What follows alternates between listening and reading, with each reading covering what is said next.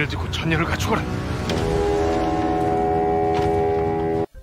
Hello，大家好，我是一个热爱电影的老条，本期带来最新丧尸剧《王国》第二集。关于第一季的故事，在一年之前我已经介绍过，想要了解的可以进老油条看电影频道，查看《王国》播放列表。这部剧我是强烈推荐给大家的。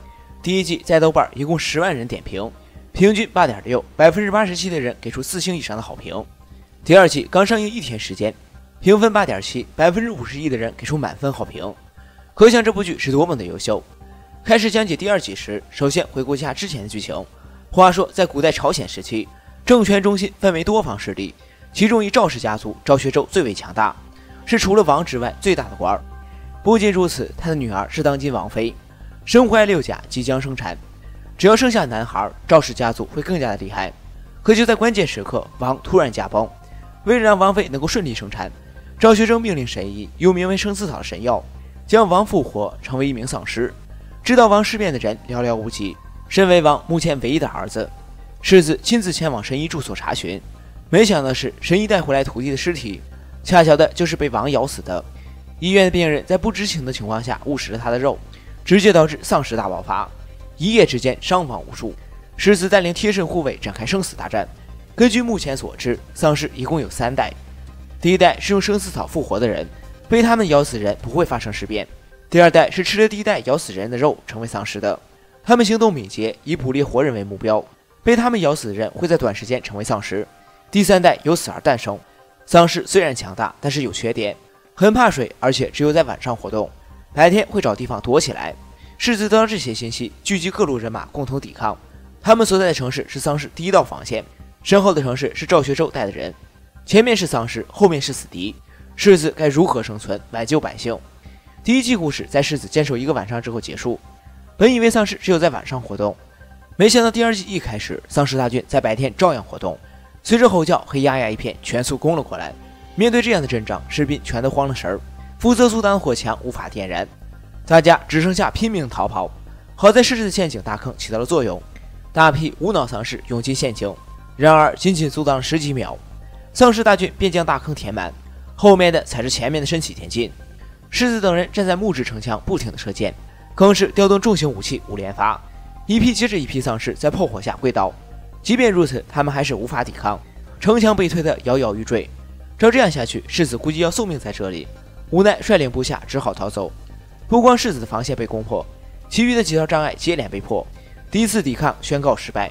那些没有来得及跑进城里的士兵惨遭啃食，城墙下面被围得水泄不通，世子只能从暗道逃回城里。狭长小道成为最后的生机，近身肉搏，士兵丝毫不惧，一波接着一波牺牲，成为丧尸的一员。此时，负责断后的安炫大人手下被咬，他知道自己命不久矣，用刀插进自己的身体，连接铁锁和大门，建立一道人肉城墙。勇士无论身份高低，都值得尊敬。在此前，他对永信说了对不起，对三年前的事感到抱歉。永信接受了他的道歉，并亲手解决掉他，防止他死后成为丧尸。与此同时，一女和赵凡八也被丧尸围堵。丧尸隔着小溪怒吼，却不敢跨越。一女突然意识到，生死草是喜好寒冷之处的药草。丧尸继承了药草的特性，他们之前并不是惧怕阳光，而是害怕白天的高温。现在天气逐渐入冬，温度开始下降，他们才会在白天也能够自由活动。想要返回原来的城，基本不可能。活命只能前往赵学周控制的青鸟岭。赵凡八是赵学周唯一的侄子，也是赵氏一族唯一的继承人。肯定会接受并安顿他们两个。赵学周看不上眼前的侄子，但他自己的儿子被世子所杀，自己又已经年迈，家族只剩下这么一个后人，既不能打也不能骂，很让他恼火。于是给他安排了该有的贵族待遇。另一方面，皇城查获一件奇案，御音厅发现数名刚刚生产的孕妇和婴儿惨遭残害。他们发现死亡的孩子都是女婴，孕妇死前说是从王妃私宅逃出来的。士兵调查，血迹确实从那里过来。王妃的手下报告，御用厅开始调查他们。不过王妃并没有任何慌张，巫师告诉他，只要等到明天，将会有孕妇生下男婴，成为王妃的孩子。只要有男孩在手，谁都不敢动他丝毫。丧尸的事情，目前皇城并不知情，他们只知道爆发了瘟疫。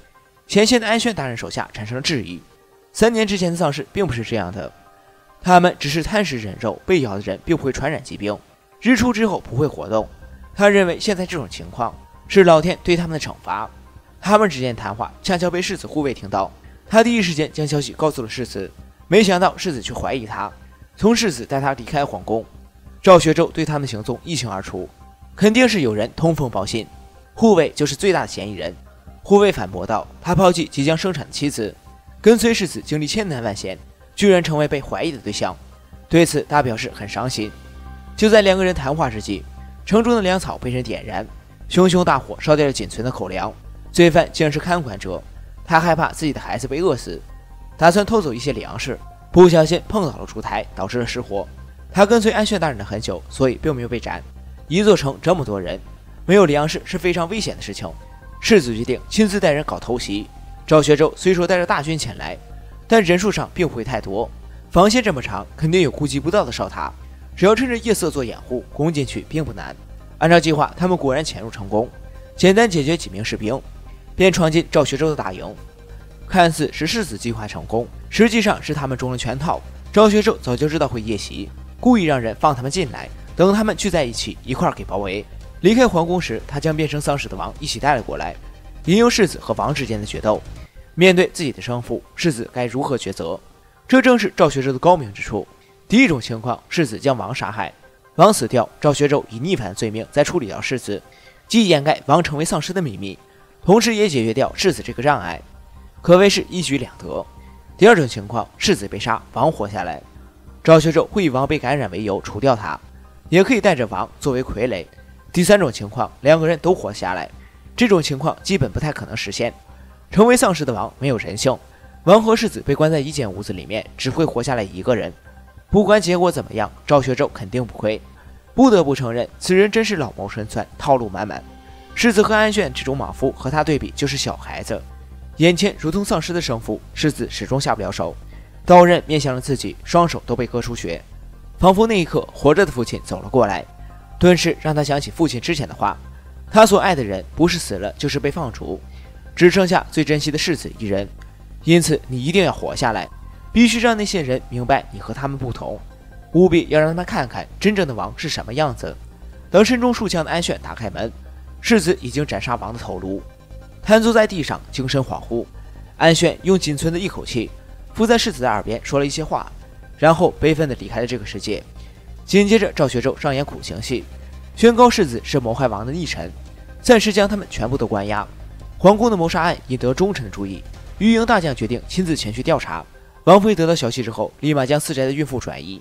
尽管如此，士兵还是发现了踪迹，截获了三顶轿子，里面装的都是死去的孕妇和婴儿。大将怀疑死去的都是女婴，这里面可能藏着重大的秘密。应该更加深入的调查此案。话还没有说完，宫中吹响了天鹅号，宣布了王离世的消息。朝廷大臣陷入激烈讨论当中。忠臣提议，当下最要紧的就是重新立王。世子因为逆反没有了权利，王妃目前还没有生产，可以找到被流放的皇族汝成君的后裔。讨论还没有结束，侍从告知王妃即将要生产。真实情况是，王妃若无其事的干坐着，没有一点怀孕的样子。御营大将必须在王妃有孩子之前查清楚。否则后果不堪设想。画面来到前方战线，一女用赵凡八的令牌见到了世子，世子紧握着他的手，在地上写下一行字。一女神情恍惚，犹豫要不要这么做。正打算要处决世子等人时，永信的人越狱要暗杀赵学周，他的枪法非常的准，只可惜有人挡了一下，赵学周才侥幸躲过。永信他们再一次被压制，军营之中再次传来打斗的声音。